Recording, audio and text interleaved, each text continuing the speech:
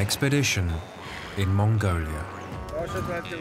Professor Samya, a bear researcher, and his student Yondon venture into one of the most remote regions of the world, the Gobi Desert.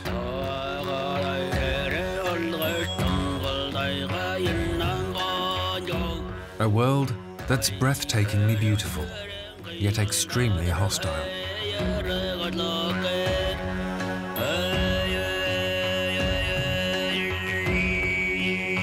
Watering holes scattered far apart make for islands of life.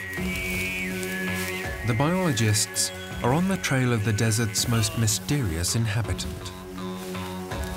Flattened grass and paw prints from last night. Professor Samya and Yondon are right on its heels, and its droppings are still fresh. They are on the trail of the Gobi bear. Very few people have ever seen one. Some say it's only a myth, but photo traps provide the proof. The legendary desert bears do actually exist.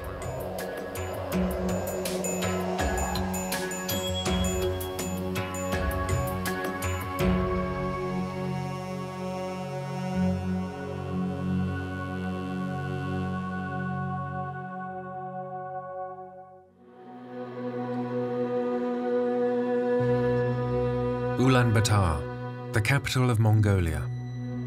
An up-and-coming metropolis in the steppe. The expedition starts out from the National University. At the age of 62, Professor Samya could already have gone into retirement. For the Gobi bear, however, he's glad to stick around for another couple of years. Yondon is close to getting her master's degree in biology. Ever since she saw the first pictures of the bear from the photo trap, she's been quite enthusiastic in her support for Professor Samya. For the Mongolians, the Gobi bear is something that's very special, one of the last great wild animals of the desert, and it can only be found here. It's kind of a national symbol. That's why we're calling for the protection of the Gobi bear, to make sure it doesn't die out.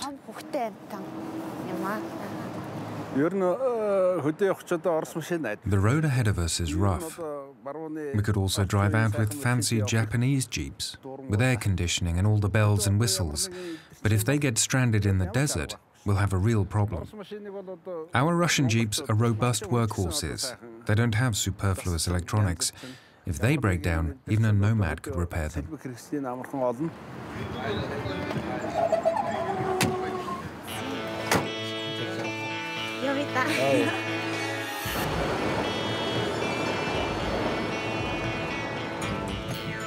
Before them lies a distance of a good 1,200 kilometers.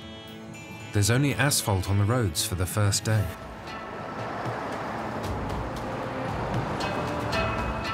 At the gates of the city, an old ritual. Go clockwise around the ovoo three times and leave a few stones, which calms the steppe's ghosts and brings a person luck on their journey.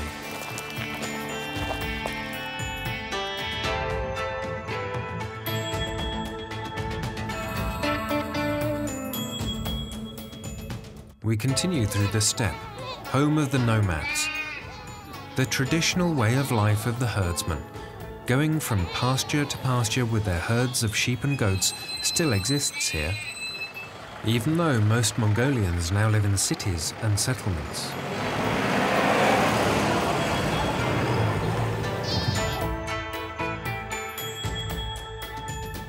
After leaving the capital, the route heads to the foothills of the Altai Mountains first, and then takes a turn towards the desert. The refuge of the last Gobi bears is located just before the Chinese border, if all goes well, it will take four days to arrive at their destination.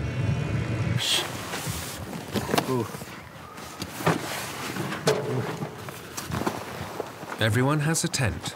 There's a gas cooker for noodle soup and a satellite telephone for emergencies. That's the extent of the luxuries. But there's still a program for the evening, up in the region of the Bears, a doctoral student has been monitoring a dozen photo traps for several weeks, and the first snapshots have arrived.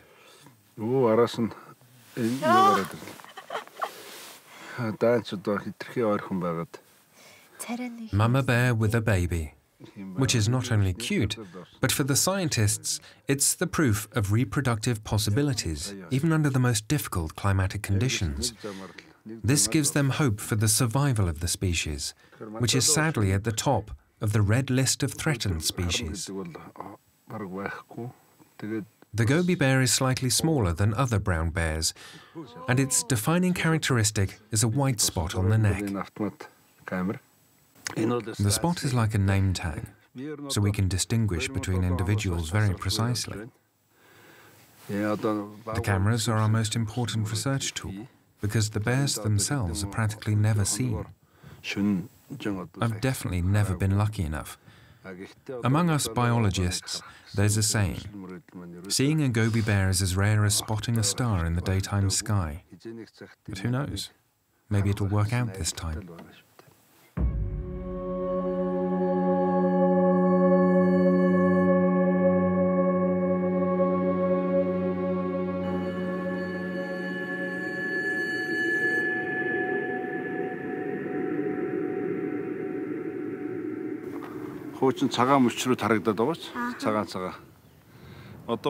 The next morning, Professor Samya has discovered a nest in the rock face.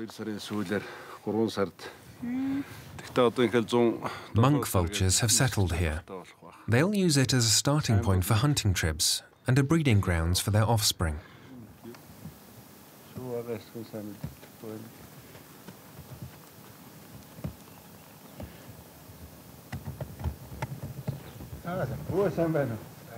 The scientists' car and tents didn't go undetected by the nomads for very long.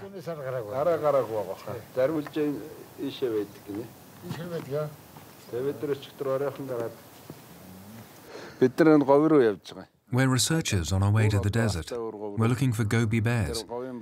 Bears usually live in greener areas, but there are also a few individuals in the desert. What are they like? Have you ever seen one? A gobi bear? No. I just saw a photo on television. Yeah, I'm not surprised. They are very rare. Our rarest animal in Mongolia, but they do exist, and we're trying to photograph and film them so we can learn more about them.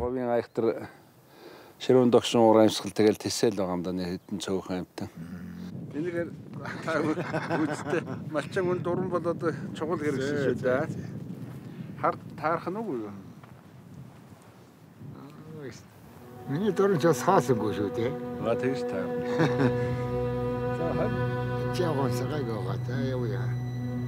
Ни хань юу сайхан одоо. Ах ах. Нийлчихүн. Хадруугаараа явчих.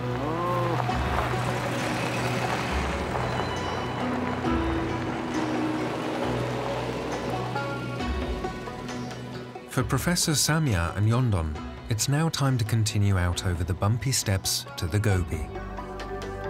At the same time, the flying garbage collection is going about its daily work. In Mongolia, there's some 3 million people, but 25 million livestock animals, so there's no shortage of food for scavengers.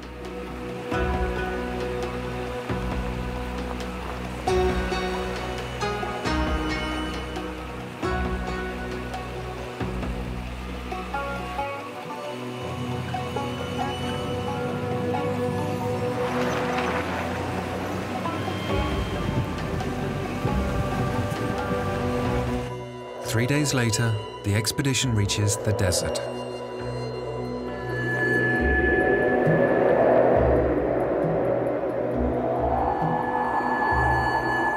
Extreme heat in the day, and at night it's often ice cold. Not to mention the sudden sandstorms. Here, the Gobi is an almost endless plain of gravel, occasionally interrupted by sand dunes and bounded by bare mountains. When I came here for the first time, I thought not a single blade of grass could grow here. Everything is dead. But that's not true. There are so many green spots. There are watering holes, and if you look closely, there are animals as well. It fascinates me. After all, the Gobi is a huge habitat and not just a frying pan.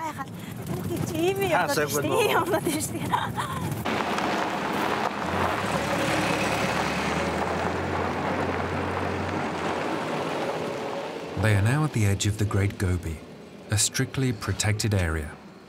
The entire region is considered to be a gathering point for rare species.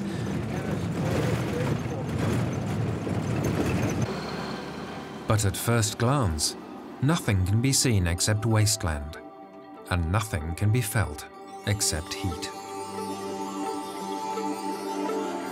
At temperatures of up to 50 degrees Celsius in the shade, only the true artists of survival come out during the day. With well-insulated footpads and sufficient fat reserves, the rare wild camels are on the move.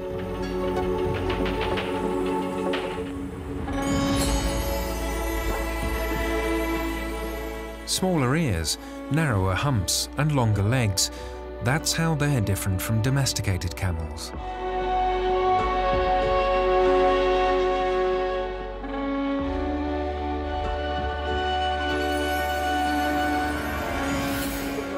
But in the fight for water, the wild animals of the Gobi have rivals. The desert nomads are specialized in adapting to inhospitable environments.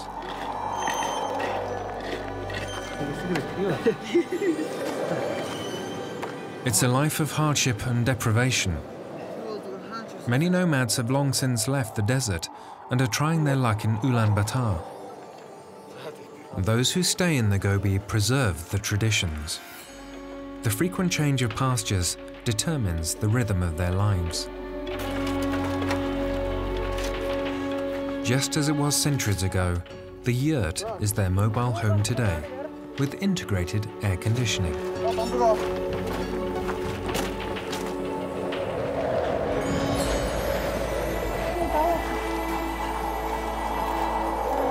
The multi-layered felt and cotton tent walls resist the heat in summer and the cold in winter.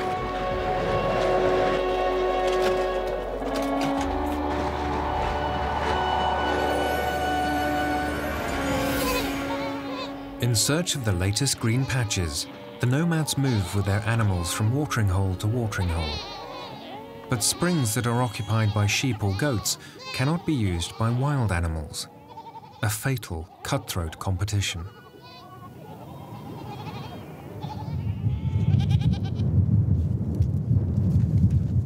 Even though it doesn't look like it, products for the international market are made here. In the extreme desert climate, the goats acquire especially fine belly hair, cashmere, the finest wool in the world.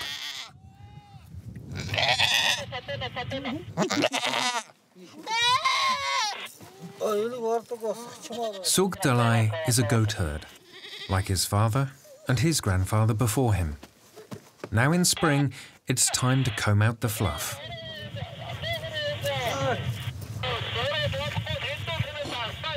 In Ulaanbaatar, the cashmere is processed into expensive scarves, jumpers and coats in modern factories.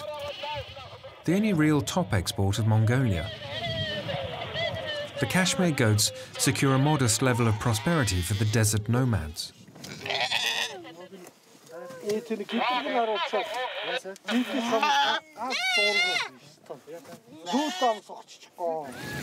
It's butchering day in Sukdalai's family. The goats have nothing to fear. As wool suppliers, they're too valuable for the cooking pot. A fat-tailed sheep is slaughtered, according to the old Mongolian method. The animal is cut through the throat with bare hands.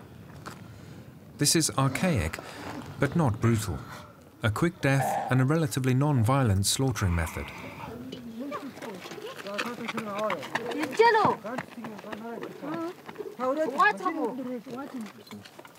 Suk Dalai and his mother-in-law, Naranchimeg, are proud desert nomads. Tales of the Gobi bears are part of their everyday life in the yurt.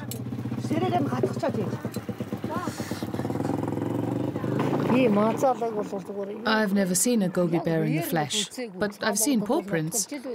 That was over at the spring, but it was a while ago.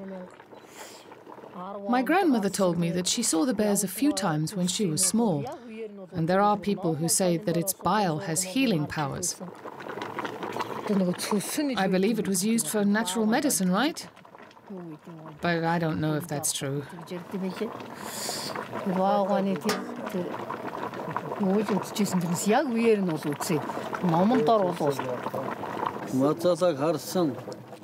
The Gobi bear. Yep, that's a bit of a thing. I saw one once. I was travelling on camels with my brother, and there it lay sleeping on the ground. The roar of the camels woke it up. It raised its giant head, took a look at us, and then ran away. The scientists say that they're threatened with extinction.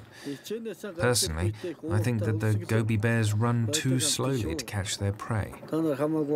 They do have those really short bow legs. On TV, they said that they also eat roots in the desert here. But I can hardly imagine that a, a bear is fully sated with those. In the nomad stories, eyewitness reports are mixed up with legends. City dwellers laughed at the reports of the Gobi bear for a long time as a made-up ghost from the yurts. It was the Mongolian Yeti, a creature of fable, and definitely not a real animal.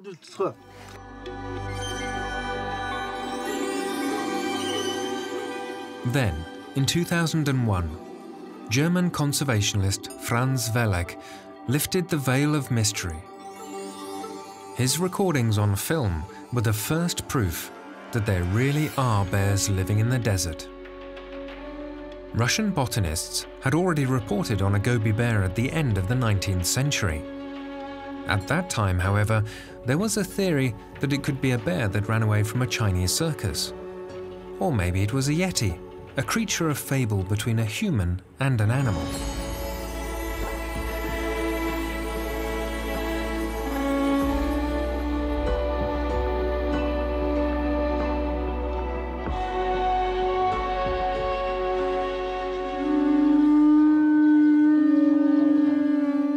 Professor Samya is on the trail of a legend.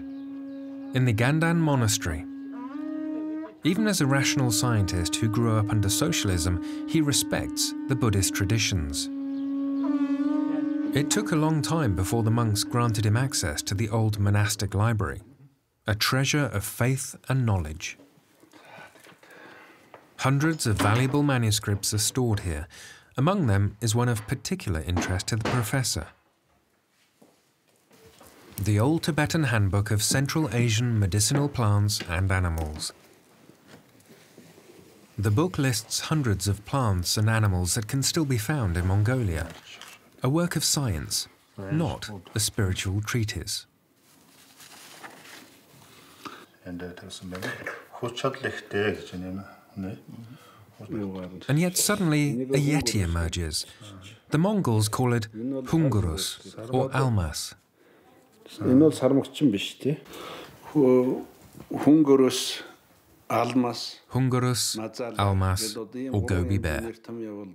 In the end, those are three names for the same creature. I mean, the desert bear was already so rare in ancient times that no one really knew if it existed or not. And so the reports of a bear sighting were rephrased as legends. The artist got it about right. A standing Gobi bear doesn't look much different. For me, that's not a hybrid creature of man and animal, rather, it's quite clearly the Gobi bear as the monk put it to paper with some imagination.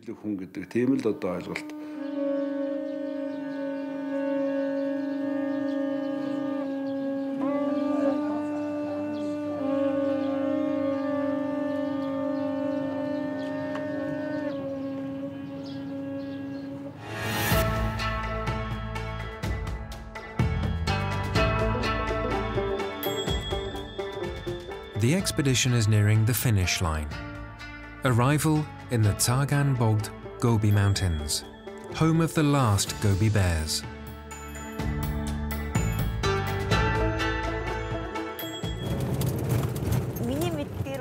I I read in a research report that the bear also eats insects. Is that right? Yes, cicadas. But are there any of those here? The professor responds with proof in the form of a folk song. Through the golden mountains of the Gobi sounds the chirping of the cicada. So the bears have plenty of insects to eat.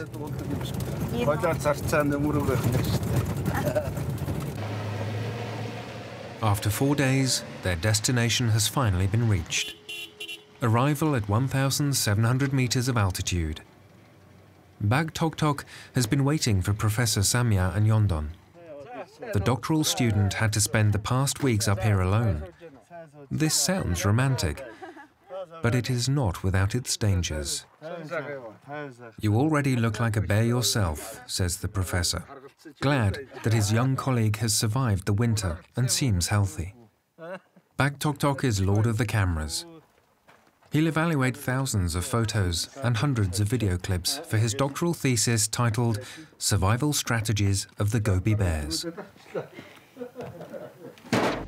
The researchers have installed self-activating cameras at five watering holes to acquire an overview of the bear population for the first time ever.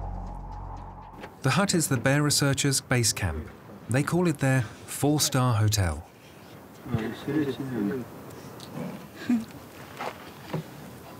The cameras get the majority of their work done at night, for at night, the Gobi is alive. When the temperatures drop to a tolerable level, the animals venture to the watering holes. A kulan. Decades ago, huge herds of wild donkeys roamed through Central Asia. Today, they are a rarity.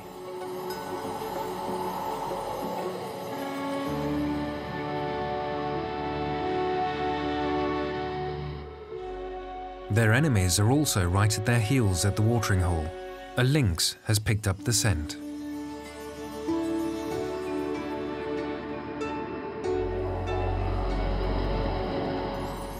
And then the king of the desert animals appears, the Gobi bear. An adolescent male on the prowl, one of the last of its kind.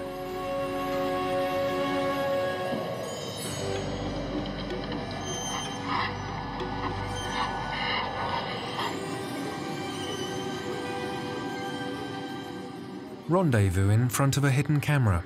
A snow leopard couple. Endangered because of their skins, which are traded for large sums of money on the black market.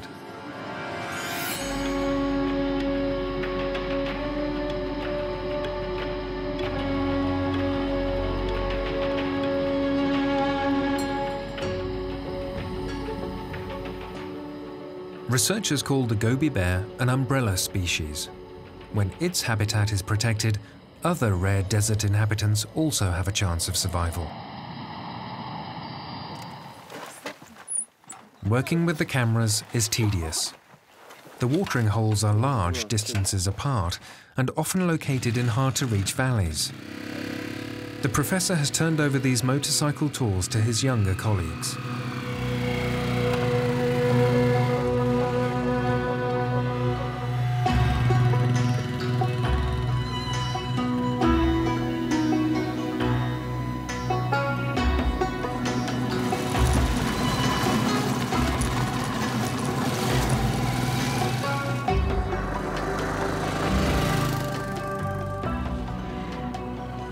Bag Tok Tok has a practiced eye. He grew up as a nomad boy in the Gobi. His grandfather taught him how to track. Oh, that looks interesting. Look over there. Down there. What have you found? Are those Gobi bear tracks? No, they're too small. They're wild sheep tracks. The tops point west. They were definitely on their way to the watering hole behind the next hill. We have camera recordings from last winter. There was real traffic there ibexes and wild sheep with many younglings.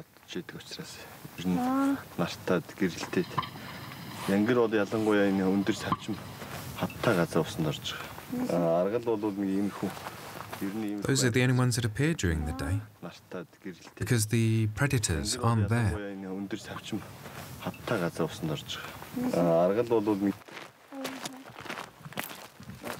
And then, a first sign of bear activity.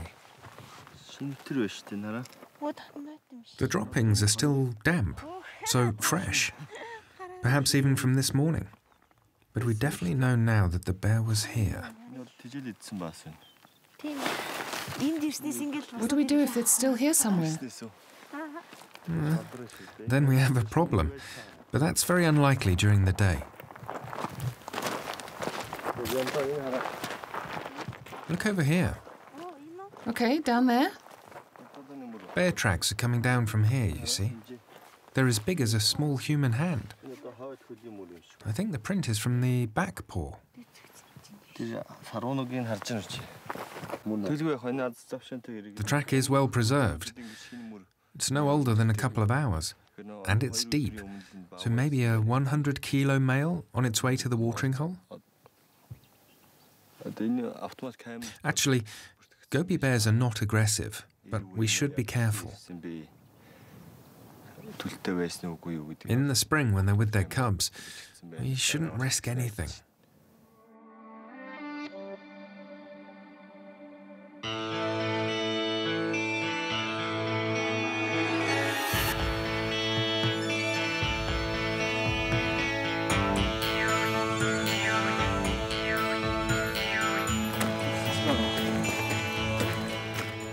After a brisk march through the mountains, arrival at the photo trap. The camera is positioned so that there aren't too many plants in the picture, because even the smallest movement of a blade of grass can trigger the shutter. Often, there are hundreds of empty shots on the cards. Researching bears through cameras is a game of patience.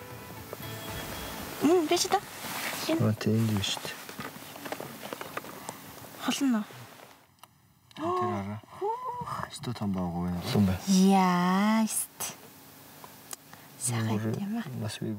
Oh, we're very lucky. There really is one here, maybe two. This looks like a fully grown male. Well fed.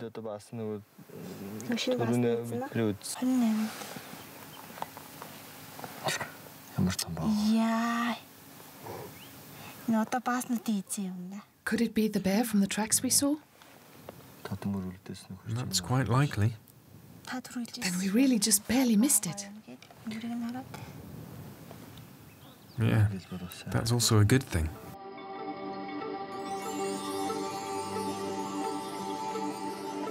The recordings are invaluable for the researchers.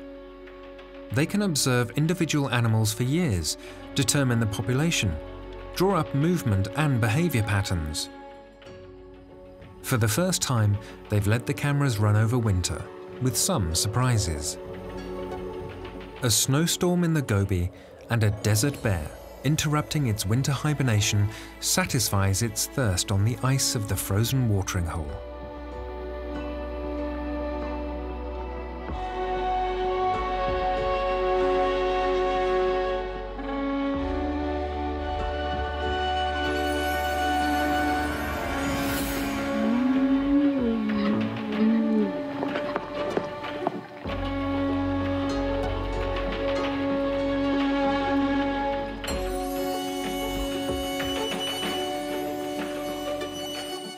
Laboratory analyses of the dung have shown that the Gobi bear is almost a vegetarian. It feeds mostly on berries and dug-up roots. But the Gobi's sparse vegetation can only feed a very small population.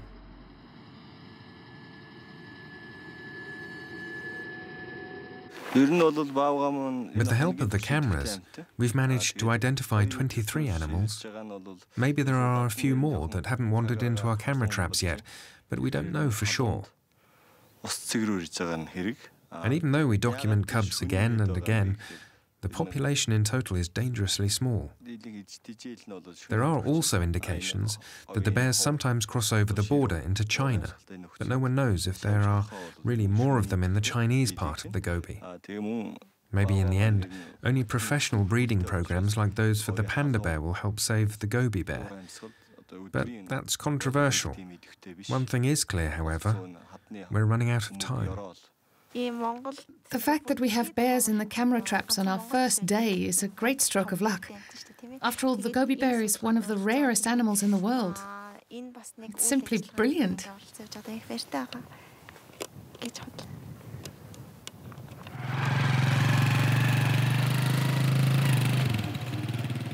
For Yondon and Bagtoktok, it was a successful tour to the camera traps. The recordings prove that the bears have survived the winter. Back at base camp, a little evening assignment is waiting for Yondon. Professor Samya wants to set down traps, not for Gobi bears, but for mice. They make up part of the bear's food supply, and therefore it's important to have an overview of the population.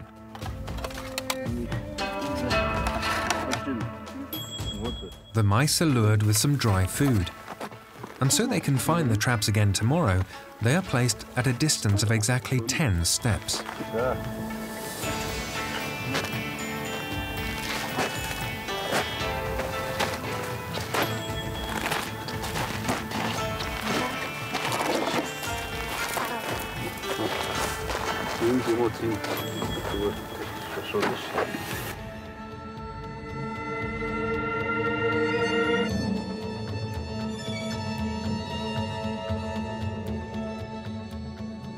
Research in the isolated mountains of the Gobi, something that can only be accomplished by a well-coordinated team and researchers with quite a bit of idealism. The water is drawn from a small desert spring, and there's not much variety in the menu. Once again, today's dinner is typically Mongolian. Soup with dried meat and buurtzog, a kind of fried dough.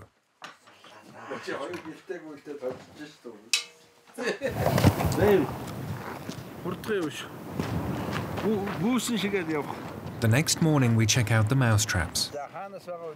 The fact that bears catch rodents may sound surprising, but the Gobi bear has a simple survival strategy. It eats whatever it can find. And desert mice are an important source of fat and energy in their largely vegetarian diet. A yellow-tailed Mongolian gerbil, a typical domestic animal that shows up in children's rooms around Europe.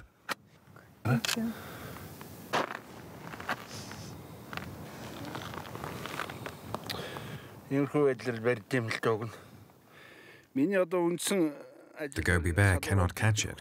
It's too fast. But it digs up their burrows and pulls them out for itself. There are also reports that Gobi bears hunt rabbits, but we haven't really been able to prove that so far.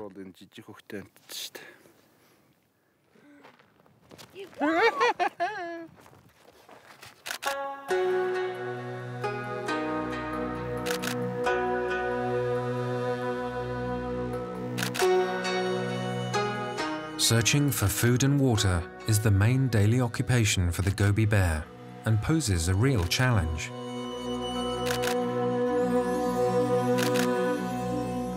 Some animals were caught by an American researcher and fitted with GPS collars. This allowed them to find out that the Gobi bear travels huge distances at night, searching for food and water. It's the mammal with the longest treks.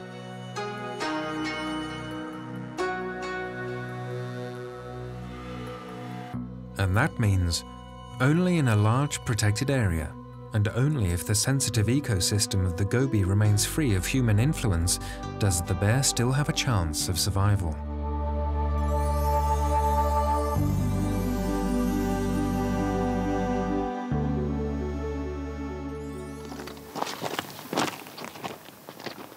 How a brown bear can manage to find enough food in the desert at all remained a mystery for a long time. But the answer is simple. Due to a lack of animal food, it has largely converted to vegetarian food. And its favorite thing to eat is the largest edible desert plant.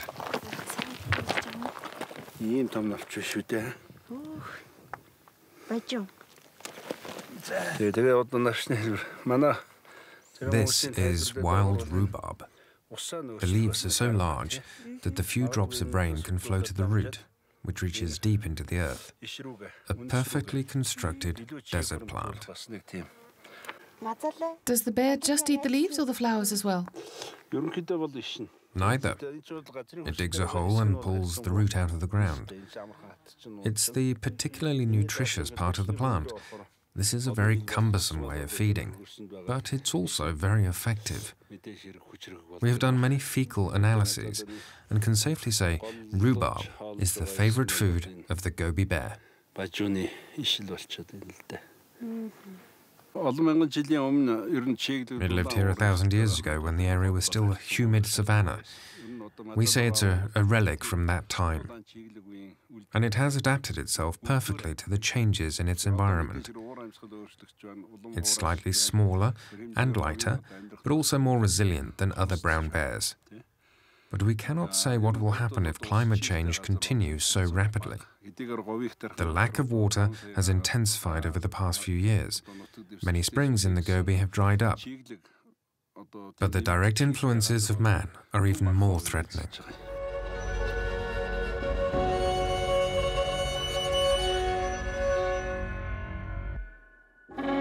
The giant protected areas of the Gobi seem at first glance to be untouched and free of humans.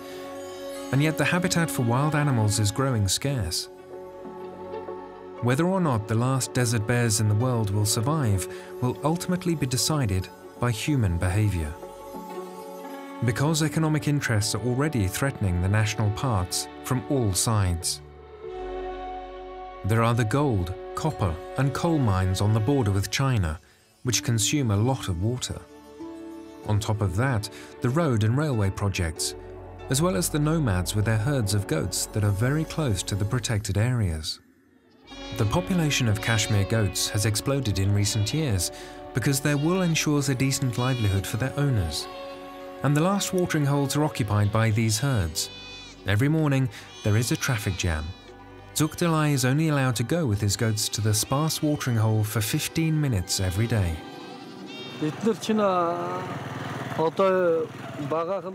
We nomads are accustomed to following the pasture and the water, but it has become very difficult here in recent years. I need a large herd to feed my family, but we can barely find enough water. Actually, I would like to have a few hundred animals more. Then it would be easier to make enough money with their wool. But if we increase the herds, we'll have even less water. I know that everything my sheep and goats drink is taken away from the wild desert animals. But what am I to do? I cannot let my animals go thirsty. I've already discussed it with environmentalists, but so far nobody has been able to tell me how we should solve this problem. Many nomads have long since left the Gobi to find an easier life in Ulaanbaatar. Zuk Dalai is holding on. A solar panel provides him some electricity. He has replaced his horse with a Chinese motorcycle.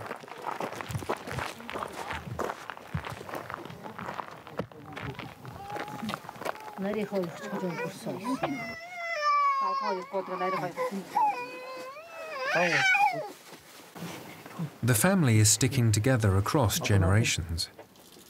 His daughter has just gotten a mobile phone, so she can finally stay in touch with her fiance, who lives 50 kilometers away.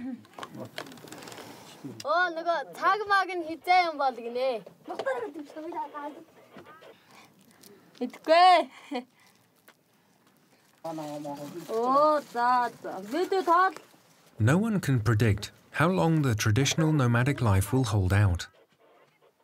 The Mongolian state has tried to bring some kinds of progress to the cattle herders to stop migration out of the desert.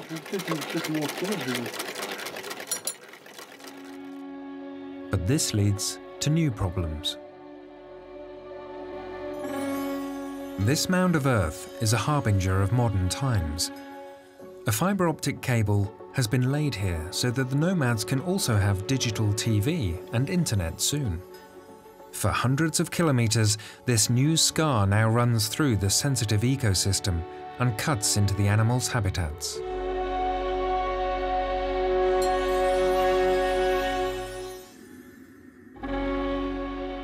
Kulan researchers have found that wild donkeys are extremely sensitive to any disturbance of their walking routes, Roads and railroad tracks are insurmountable obstacles for them.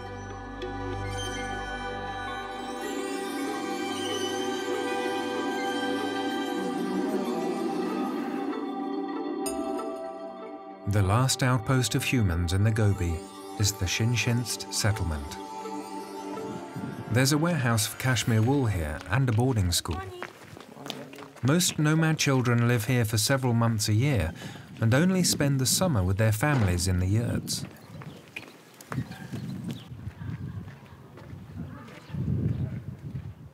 Professor Samya and Bak Tok Tok have come to the village today because educational outreach work is an important part of their Gobi bear protection program.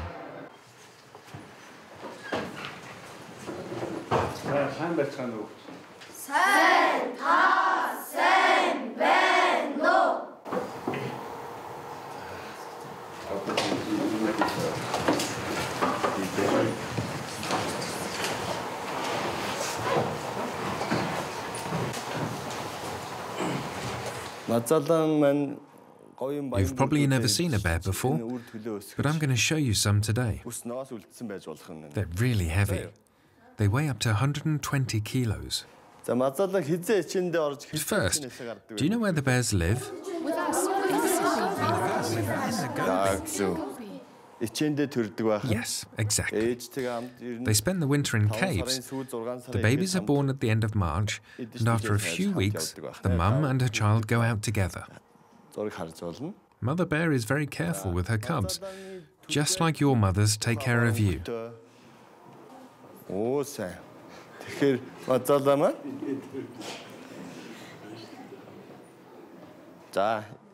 Do you have any questions for me? Um, teacher, how old can a Gobi bear get?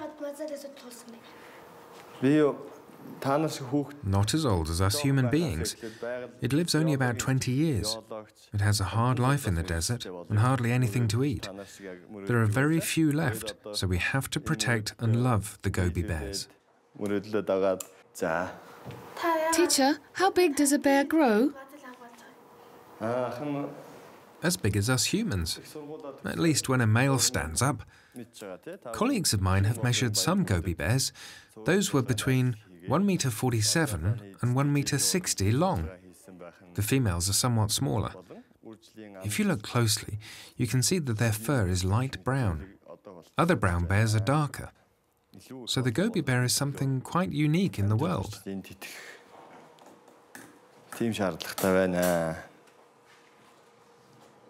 Тийм шаардлагатай байна. За. Эртээ урдын цагт гэсэн үлгэр зурж болно. Тийм ээ. And then there's a drawing contest. The assignment draw the Gobi bears and what threatens them.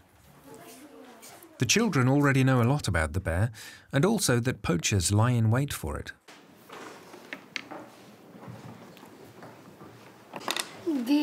I drew this because people should know that you cannot shoot the Gobi bears.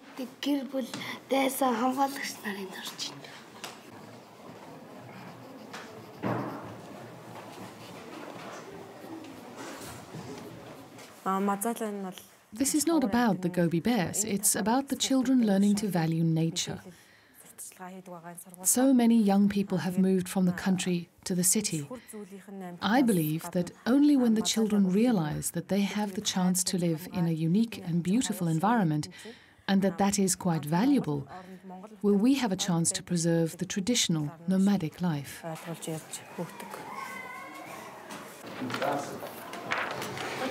I want the Gobi bear to have a good life.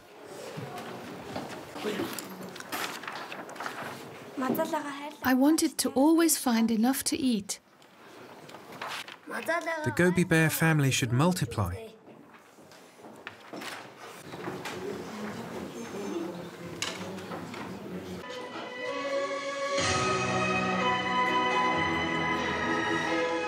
As a thank you for the visit, the school has thought up something special and invites the bear researchers into the auditorium.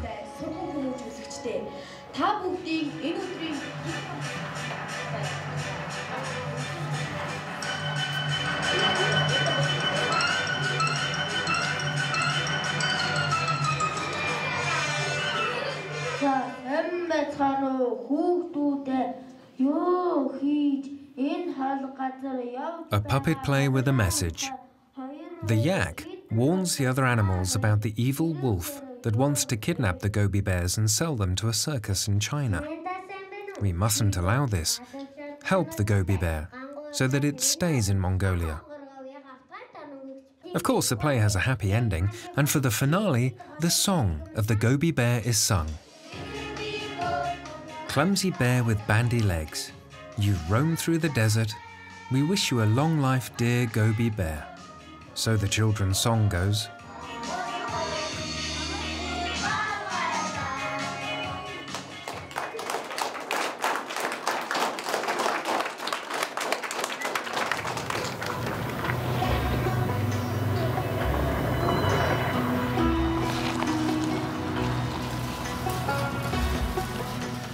It's the final day of the expedition. Professor Samya and Yondon make an attempt to get even closer to the Gobi bears. The camera recordings from the last few days show that it's been appearing regularly at this watering hole.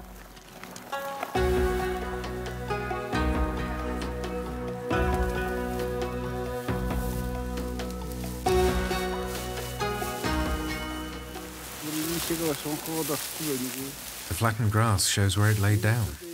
A path also leads from the mountains down here. This seems to be one of its favourite places. There's water, insects, and it's shady. And we know that it's hibernated here before.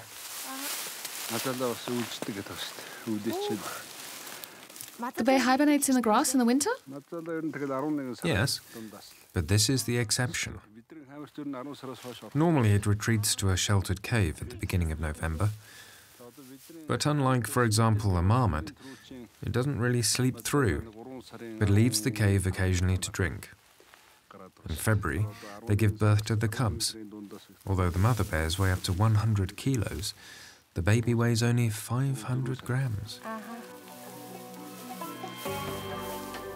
Today is no exception to the rule. As soon as the researchers arrive, the bear is gone. It is not only one of the rarest, but also one of the shyest animals in the world. But there are also animals that don't run away. The petroglyphs at Sagan Bogd, rock drawings that nomads made over 3,000 years ago. Immortalized here are many animals that still live in the Gobi today.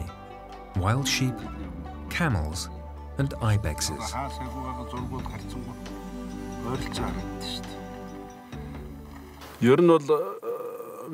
This is a wonderful historical document, a mirror of that time. The drawings tell us that humans lived as hunters in the Gobi back then, and that there was a rich variety of animals. Only one animal is missing. That is the Gobi bear. Apparently, it was already so shy back then that humans didn't get to see it. One can say it's remained true to itself. It was already rare at that time, and it is even rarer today.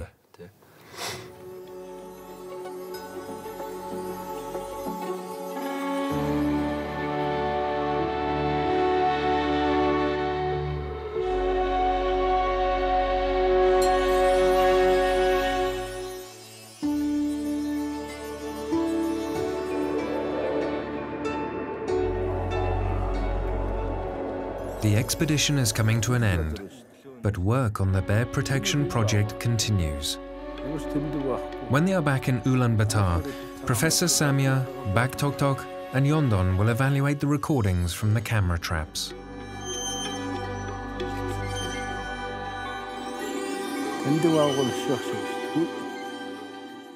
I think everyone who sees this beautiful animal understands that it's our duty as humans to protect it. There are many more animals that should be protected. From this small fly on the lamp to the big bears, we have a unique ecosystem here. Little by little, we are understanding it better. For this, the expedition was important. Even though I still haven't seen the Gobi bear in person yet, but who knows? Maybe it will reveal itself one day. I'm not giving up that easily. The Gobi bear is endangered, but I truly hope it's not too late to save it. This expedition was incredibly exciting for me, and I'll definitely continue to support the professor in his research when we're back at the university. Oh.